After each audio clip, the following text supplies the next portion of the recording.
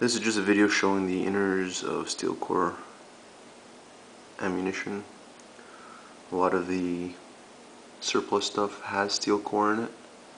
Hunting rounds don't.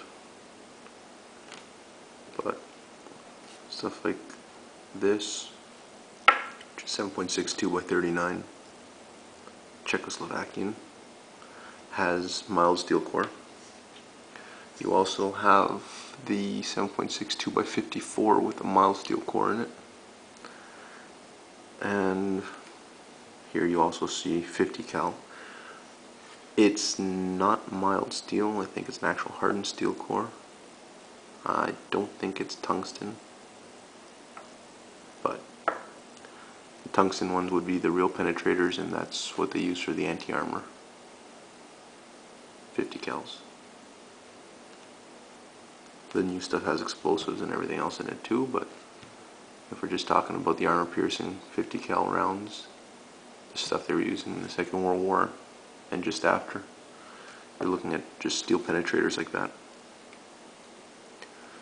Anyways, this one here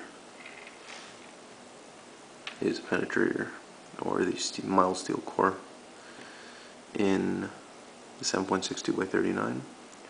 This is the one for the 7.62 by 54 rimmed. And this is what you find in the 50 cal. A lot of the 50 cal ammunition has it in it. And if you open it up, you'll see that's what it is. And you have 50 cal ammo. 50 cal bullets have penetrator this length in it. So as comparison, we'll take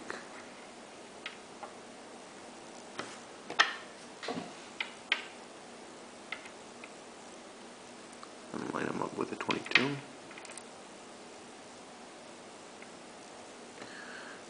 And 7.62 by 39 and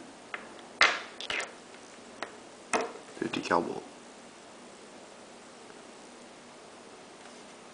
And that's the mild steel cores and the steel cores in military surplus ammunition. Thanks.